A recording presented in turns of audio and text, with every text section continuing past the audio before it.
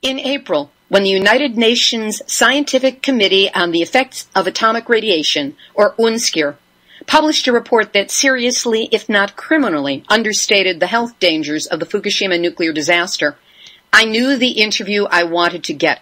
It just took me a little while to get it, but it's got, and here it is. Alex Rosen is a German pediatrician who is vice president of the International Physicians for Prevention of Nuclear War in Germany. He's also a former vice chair of the International IPPNW Board of Directors. He uses that organization's recently published critical analysis of the UNSCEAR report to decode its methodology and, in effect, demolish its credibility. Alex Rosen, welcome to Nuclear Hot Seat. Hello. Greetings from Berlin.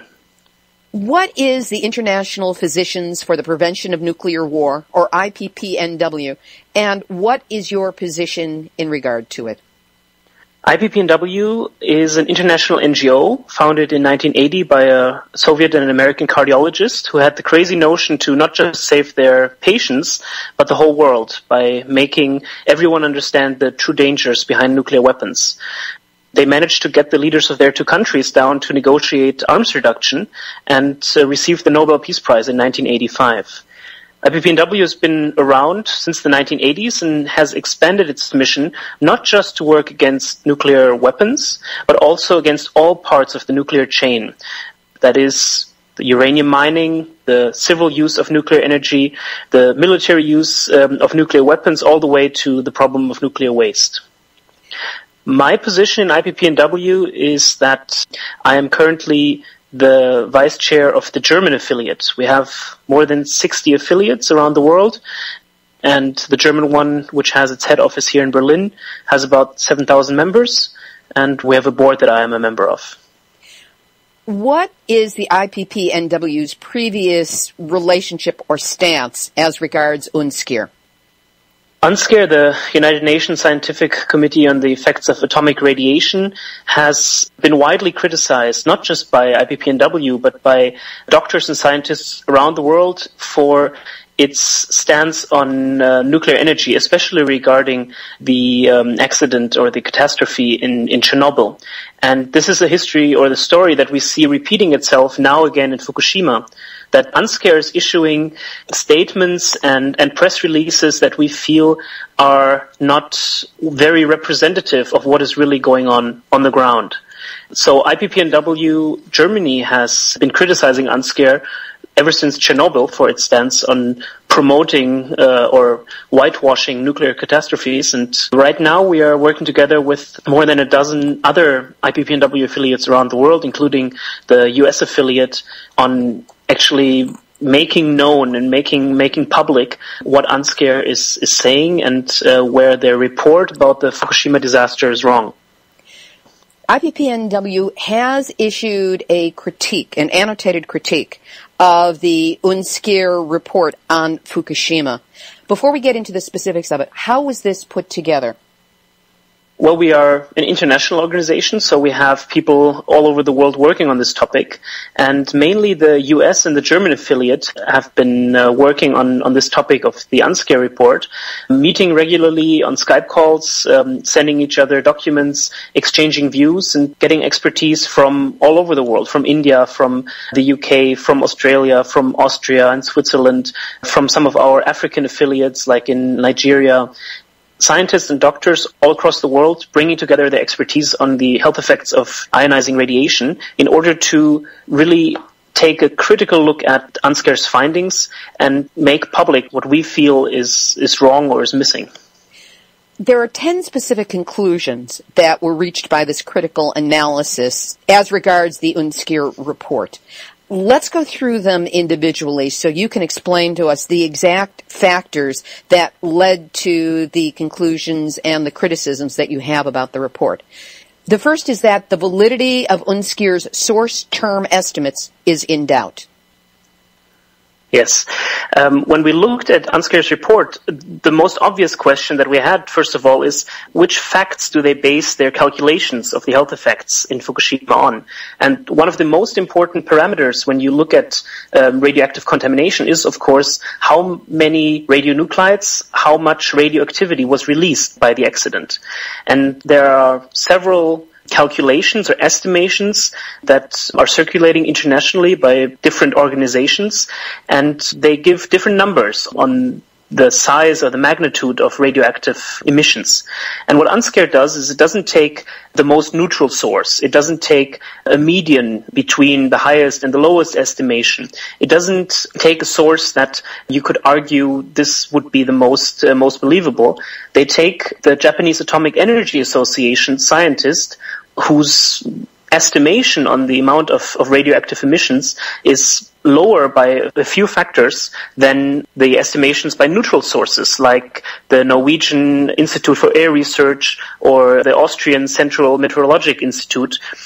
So just to give one example, UNSCEAR says that the emission of cesium-137, so that's a very particular radionuclide that's important to know when you talk about radioactive contamination, was 9 petabecquerel so that's nine quadrillion becquerel, uh, whereas the independent Norwegian Institute for Air Research, they found 37 petabecquerels, more than four times that number. And now we're not saying that the Norwegians are completely right and the Japanese Atomic Energy Association is completely wrong. All we're saying is if there's different numbers, you have to closely look at who is publishing these numbers, with which interest, how valid are their calculations, and does it really make sense to take the lowest possible numbers, which come from the Japanese Atomic Energy Association directly, an organization that is being heavily criticized by the Japanese parliament, in fact, for being co-responsible for the nuclear disaster in Fukushima. And if you take their numbers, their low estimates, then obviously your calculations that you do with these numbers will have a systematic underestimation of the health effects in the end. There are serious concerns regarding the calculations of internal radiation. Yes, that's the next issue that we are dealing with in our report or our critique of the UNSCEAR report, the concerns regarding the calculations of internal radiation. So the next parameter after looking at the emissions, the magnitude of the emissions, is you want to see how much of this radioactivity was actually incorporated by people. And it, with incorporated, I mean inhaled in terms of radioactive dust floating in the atmosphere or ingested with food or drink. So it's very important to look at the radioactive contamination of food and drink in, in Japan, especially in the affected uh, region in northeastern Honshu Island, and to look at how much of this radioactivity would actually be ingested by people or inhaled. And in order to do that, you need to have food samples. First of all, you need to go on the fields and in the markets and actually take samples in order to calculate or estimate how much radioactivity is in everyone's food. And you need to make assumptions on the amount of food people eat, the origin of their food. And what UNSCEAR does is, first of all, they base their entire calculations on internal radiation on one single source. And now this source could be an independent scientific uh, committee or an organization that has done independent testing. But instead, what UNSCEAR does is they take as the single source of their calculation of internal radiation the International Atomic Energy Agency, the IAEA. And we all know that the IAEA was founded in order to promote civil nuclear energy. So they don't have a very big interest in actually showing uh, a lot of negative effects of the Fukushima nuclear disaster. In fact, you could say they're very biased and they're not the best source to base calculations of internal radiation on. But this is what UNSCEAR does. They take the IAEA food database as the single source of their calculations, and um, nowhere in the document, in the UNSCEAR report, does it say how these samples were taken, who took them, where they were taken, when they were taken. It just refers to a spreadsheet the food database, which never appears in the document and which is supposed to be published at a later point in a sort of addendum, but which still isn't available to researchers and independent uh, scientists like us wanting to see where this data actually comes from. So there's no way to check or to control how valid these food samples were. What we do know is that the IAEA database, of which certain parts have been published by the WHO, shows maximum levels of, of radioactive contamination, which are much lower than even the Japanese government's numbers. So we're very worried that by taking this database as the single source, you're actually underestimating the effects of internal radiation and adding to that the assumptions that UNSCEAR bases its calculations on, assumptions on the amount of food that people eat from the affected region, the amount of checks and, uh, and controls that are taking place in Fukushima, these assumptions are just are just wrong. They're not based on reality, and they draw a picture that is much too optimistic in our view. Another issue that was raised by the critique of UNSCEAR's report is that the dose assessments of the Fukushima workers cannot be relied upon. Yes, this is uh, another point where, again, we're talking about uh, which sources you base your calculations on. If you're looking at the group of Fukushima workers, um, you would think that you would take independent uh, research data on these people in order to calculate their health effects. But instead, UNSCEAR bases its numbers solely on the numbers that it gets from TEPCO. Now, TEPCO is the company that ran Fukushima before it went bankrupt over the catastrophe.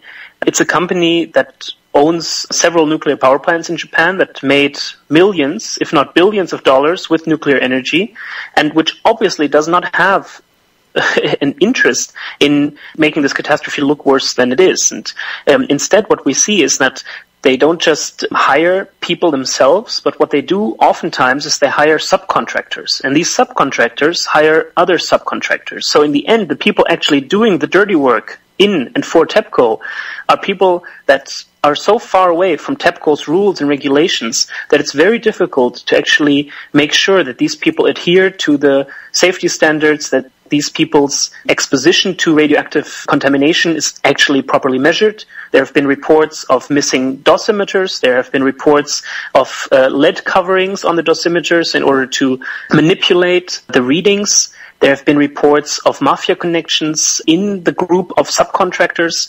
So there's a lot of shady deals and corruption going on on these levels. And taking the numbers of TEPCO as the sole source to calculate health effects of the workers without any independent data available, nothing from the government, nothing from independent researchers, just TEPCO's own data, again leads to systematic underestimation of the health effects.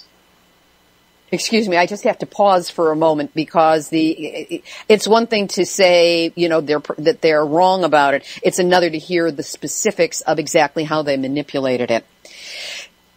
Another conclusion that was reached by the report is that the UNSCEAR report ignores the effects of fallout on the non-human biota Yes, what that means is that we're not just talking about humans, obviously, we're talking about plants, we're talking about animals. And what we've learned from Chernobyl is that, especially in the animal population, you are much better able to demonstrate health effects and transgenerational effects, not just on the animals that were alive and present at the time of the disaster, but their offspring generations down the line. And obviously with butterflies or mice, you have much better chances at researching these transgenerational effects than, than you do in a, in a human population where obviously people are not guinea pigs. So um, what scientists have been doing, and uh, there's a very active US group around Tim Mousseau, who's a a scientist who's been traveling to Chernobyl for many years, catching birds and looking at, at different types of animals and their health effects in regards to, to radioactive contamination. And they've been able to find several very meaningful health effects concerning fertility, concerning mutations, and all of this knowledge is out there. It's it's published in peer-reviewed journals. It's there, and you can research it on the internet but it doesn't appear in the UNSCEAR report. What the UNSCEAR report says is that there's no real data on the non-human biota and therefore they did not take it into consideration. And this is something that we are criticizing obviously because you can't say because something happens to butterfly it will also happen to humans. But at least, and this is what we know from pharmacological studies and other other health studies, you can deduce something from it. And you can say, well, if this happens in all types of mammals, why shouldn't it happen in human beings?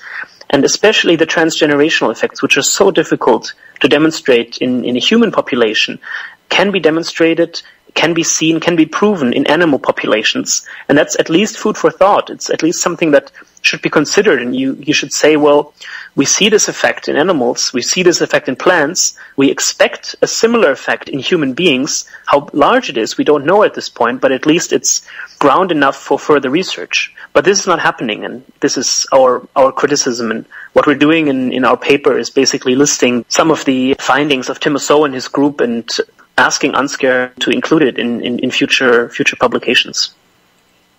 The next issue that was raised by the critique was the special vulnerability of the embryo to radiation and that it was not taken into account. Yeah, this is an issue that's very important to me as a pediatrician. Human beings don't react to radioactivity the same way.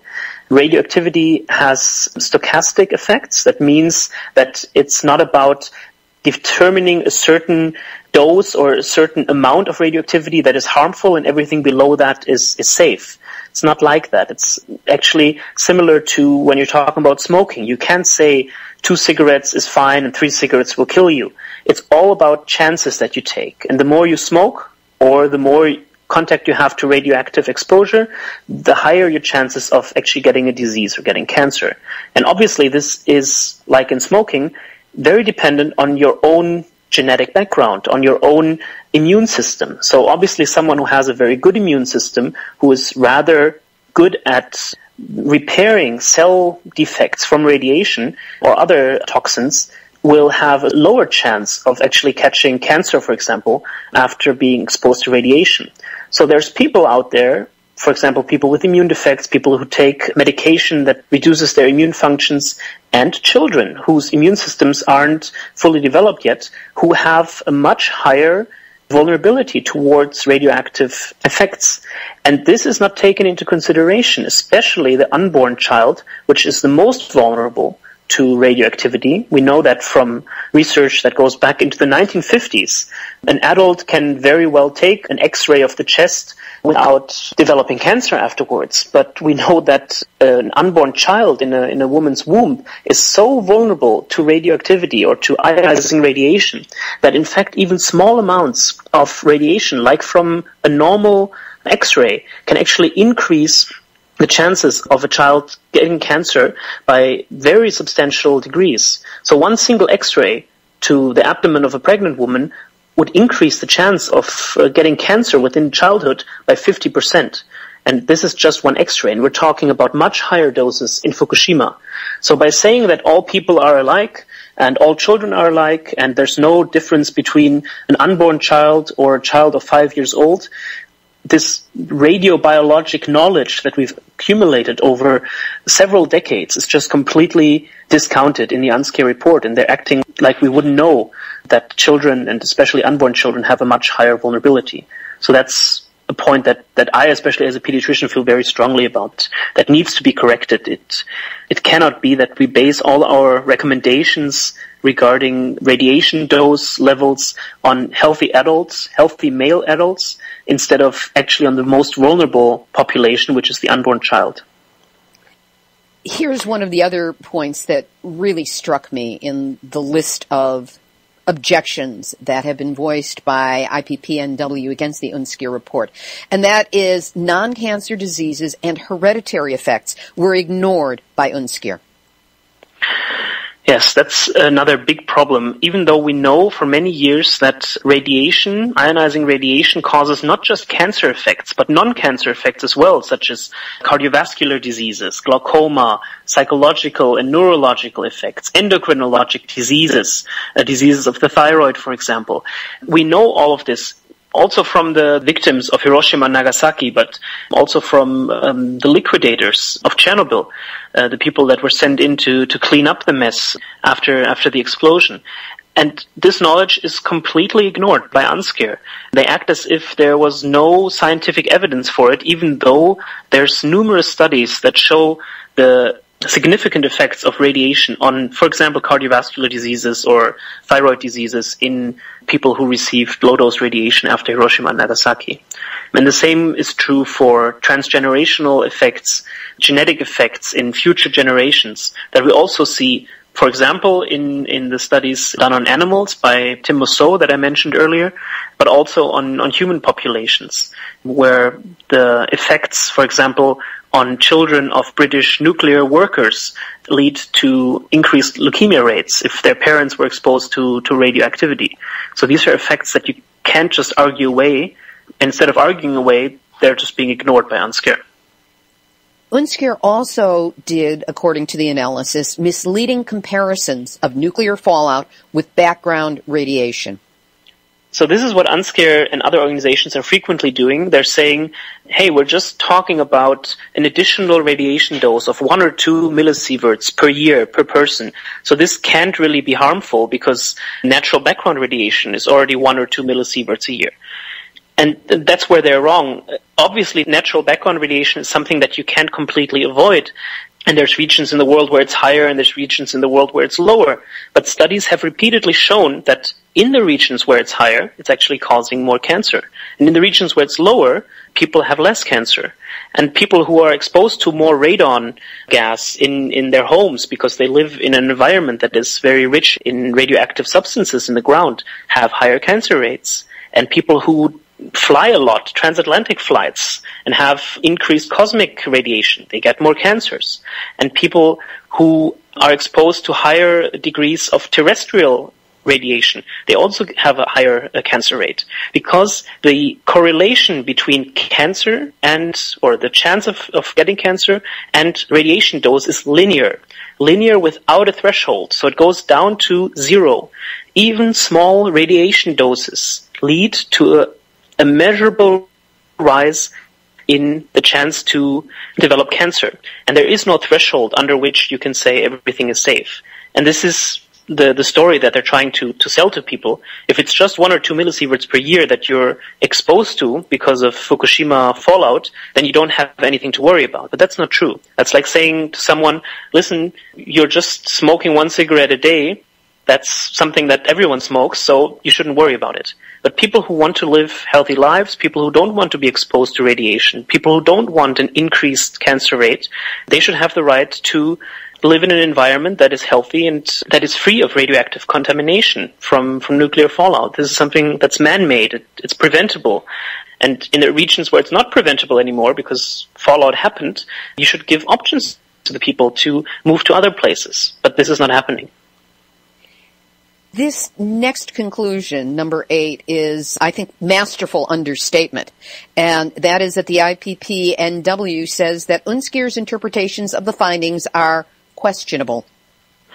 Yes, what we mean by that is it's not just that they base their calculations on the data and the assumptions, and it's not just the way that they calculate it, but in the end, they draw conclusions. And these conclusions, you could say, okay, now we can calculate how many deaths or how many cancer cases are to be expected. But UNSCEAR doesn't do that. They don't seriously discuss their findings. So, I mean, we're walking a tight line here. On the one hand, we're criticizing UNSCEAR for systematically underestimating the health effects. On the other hand, we are asking them to at least use the findings that they have and interpret them in a way for people to understand them. It's not very useful to tell people this is the collective dose that the population will be exposed to because people can't really do anything with that number.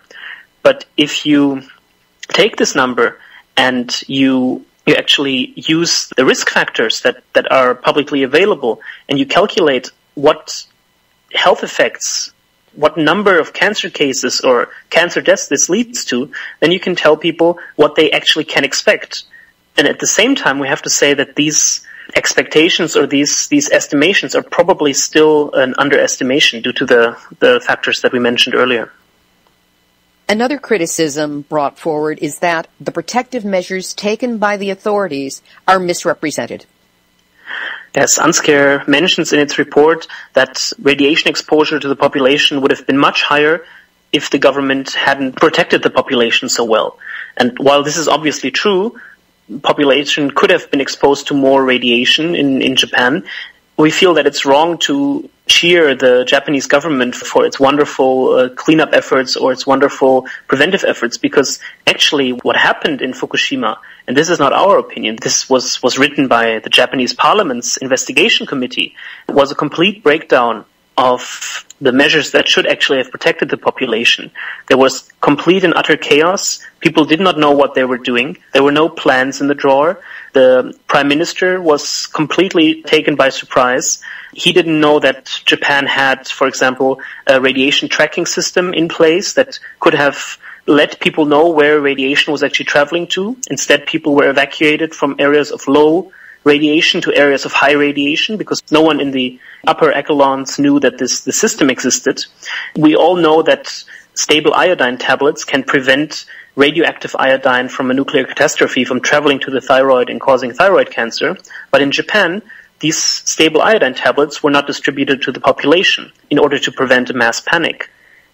So there were a lot of issues concerning the immediate uh, response to the catastrophe, concerning the evacuations, the extent of the evacuations, the cleanup efforts, where it's not very useful to actually say that uh, everything went perfectly and otherwise the catastrophe would, would have been much bigger. We feel that it's just fitting at this point to join the Japanese parliament's investigation commission in their criticism of, of how badly actually the first response was and what could have been done better because I mean, we're dealing with a problem that could happen any day again in Japan with more than 50 nuclear sites and an earthquake prone region. So this is not something that happened once and will never happen again. We know from Chernobyl, we know from Fukushima, from Harrisburg that it could happen any time and in every country.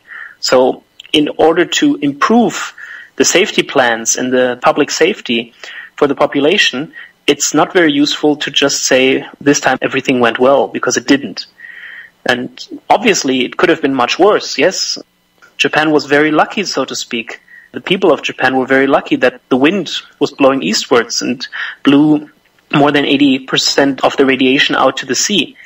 If the wind had blown south, even just for one day, the metropolis of Tokyo would have been subjected to radioactive fallout. And this is something that we don't want to imagine what that would have caused. But in effect, there was just one day of wind going northwest, which now is causing most of the problems that we're seeing in the, in the heavily affected um, cities and communities. Just from one day of radioactive fallout, all the other days the Japanese were lucky enough that the wind blew east. So, yes, it's some way you can say that um, this catastrophe could have been much, much worse. The last point made is that conclusions from collective dose estimates were not represented. Yeah. Um, like I said before, the UNSCEAR report mentioned the collective dose estimates, so said how many person sieverts uh, the Japanese population will be exposed to in the coming decades, but they failed to actually say what this would mean for the people. To give an example, we tried to add this estimation. Just to give an example of how we did that, UNSCEAR says that there will be a total collective dose of 48,000 person sieverts. So the total collective dose is the sum of all the individual doses of every person in Japan that is exposed to radioactivity due to Fukushima over their lifetime. This is the total collective dose, so 48,000 person sieverts. And if you take the risk factors that are internationally accepted, then this would lead to between 4 and 16,000 excess cases of cancer in Japan.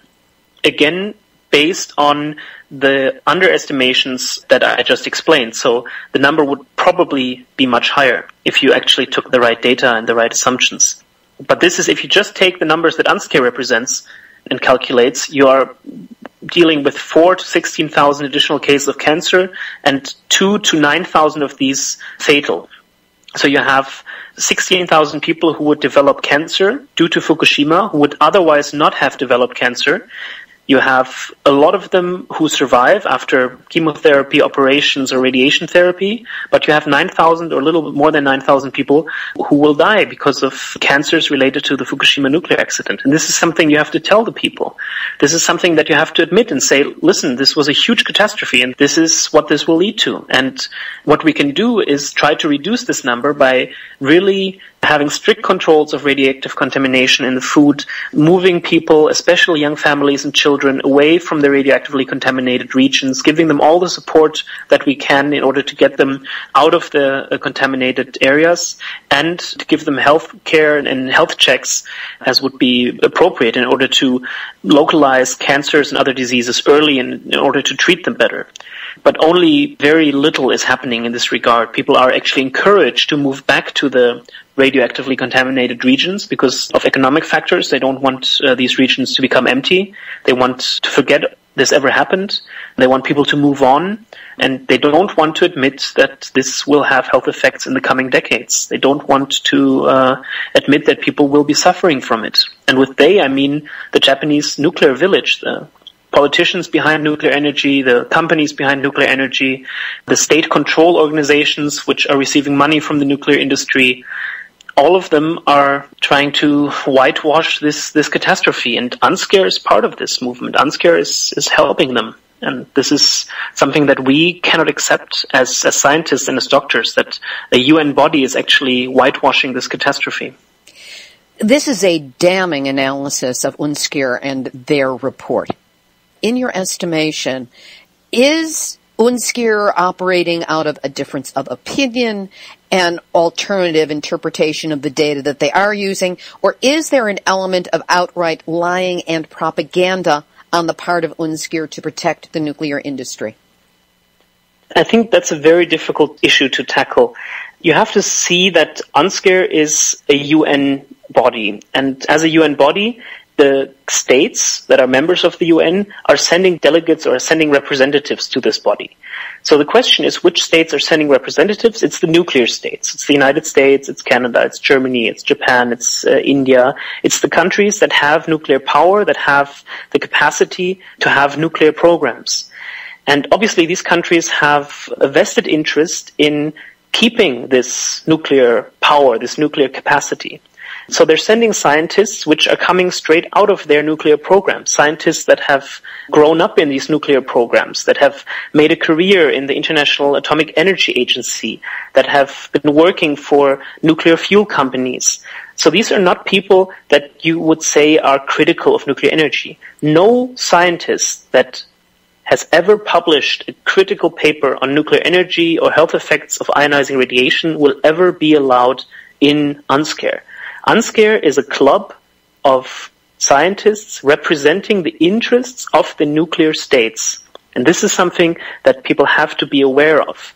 It's not an independent body of research. It's not a body that is composed of critical scientists on the one hand and pro-nuclear scientists on the other hand. It's strictly pro-nuclear and there's people sitting, sitting on UNSCEAR and there's the scientists that are being quoted in their paper who have been working their entire lives for the nuclear industry in their countries.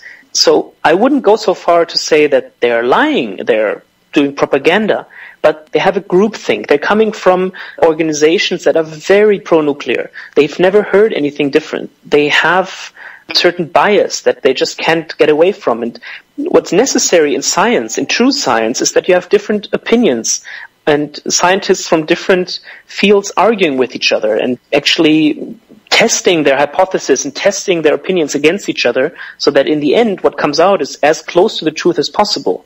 But UNSCEAR is not the right body to do that. UNSCEAR does not allow criticism, does not allow a neutral position. And so, while I wouldn't say that UNSCEAR deliberately lies or uses propaganda, I have to say that its views and its papers show very clearly who's paying the bill and very clearly where these people are coming from. How has the IPPNW critical analysis been received, meaning by the media? Has there been any kind of governmental response to it? And has it been acknowledged and responded to by UNSCEAR? That's a very interesting question. We were in contact with UNSCEAR before publishing our paper, and we actually UNSCEAR published a sort of executive summary, a sort of teaser or a, a preview on their full report at the UN uh, General Assembly last October. And when we read this preview, we immediately responded to UNSCEAR and told them, well, listen, reading through your, your paper or your executive summary, these are the points, these are the issues that we have problems with, these are the points that we see critically, and do you want to have a dialogue with us?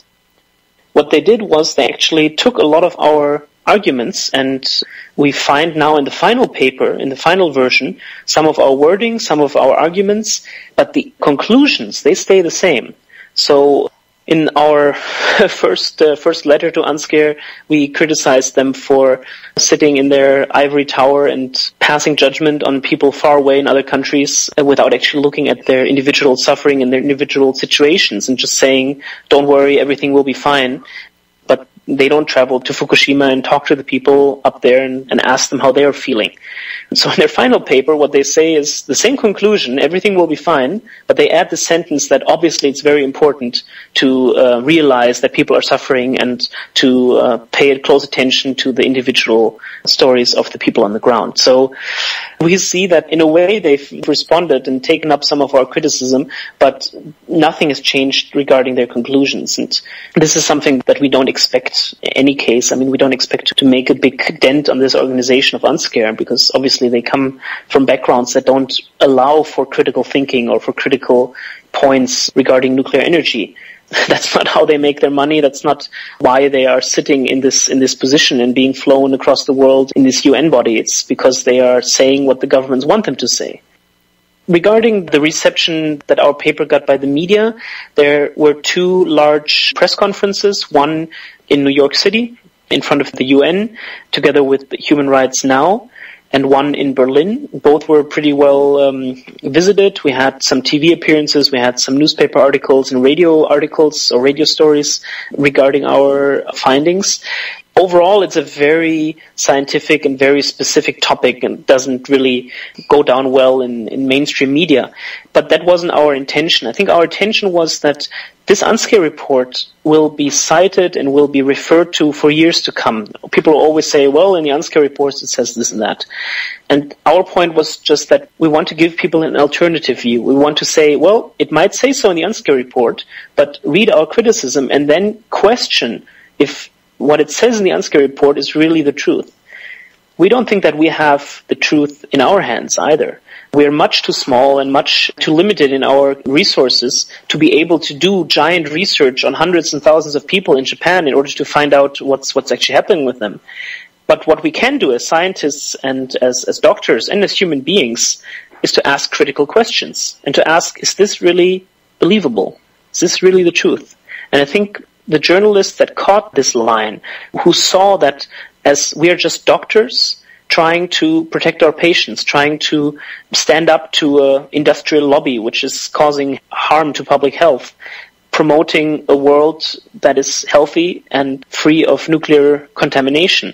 I think these journalists they got it right and they were able to spread our message. And we hope that in the coming years and decades, when people look at the UNSCEAR report, they will also find our report and have maybe a more critical or unbiased view of UNSCEAR's findings.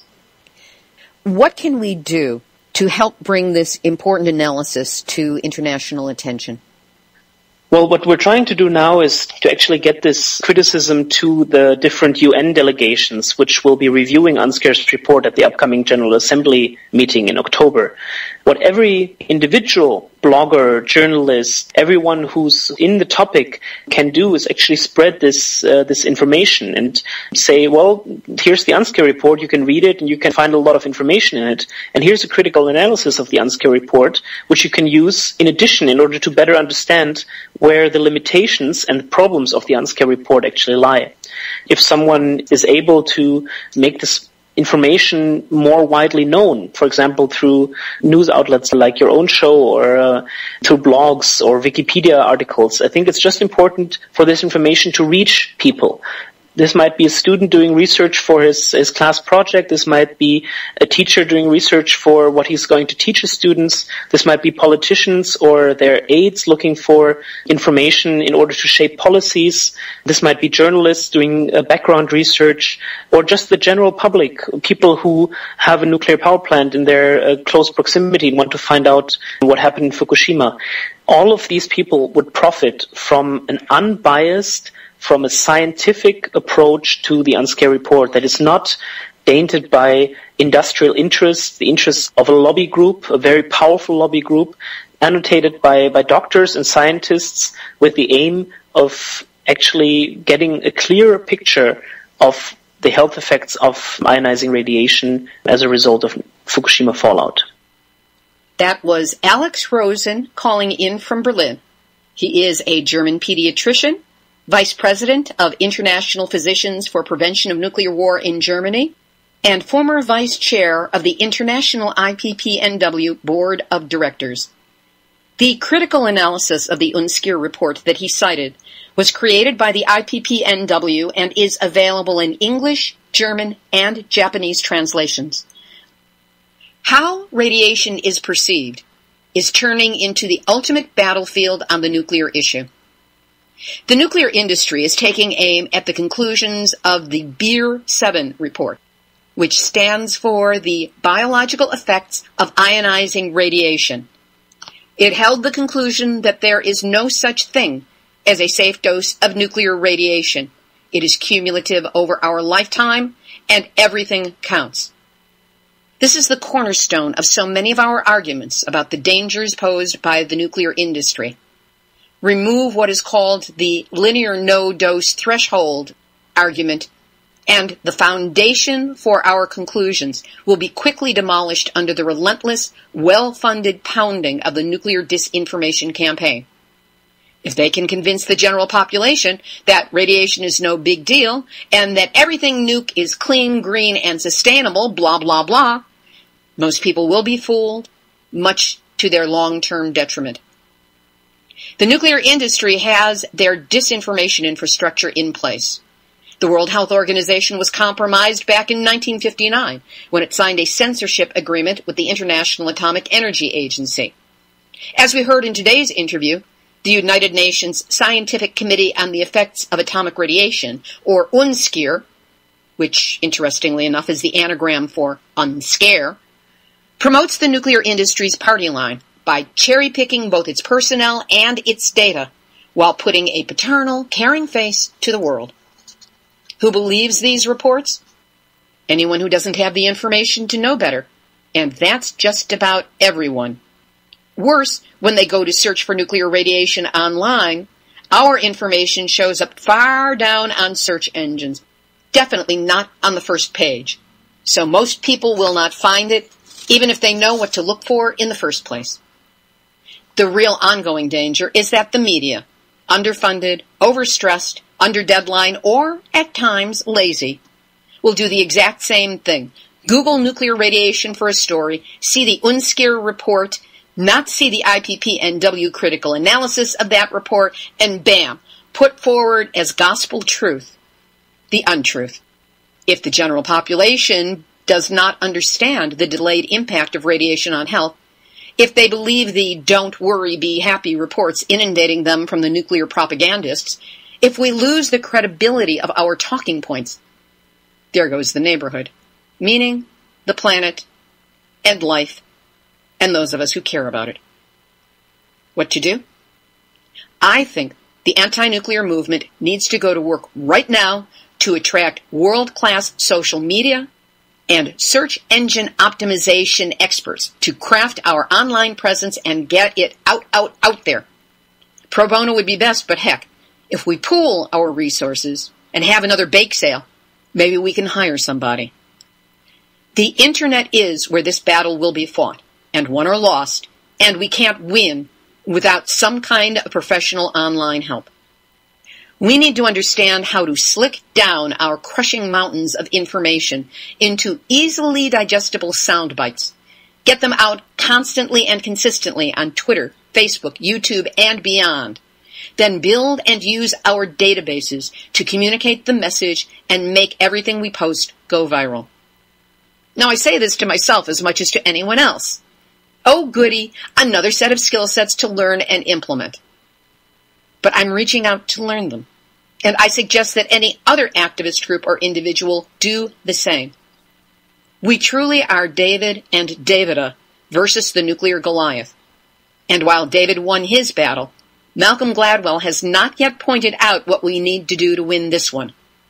We've got to learn how to leverage our strengths to turn us into a strong enough force for good that we cannot be shouted down or counted out.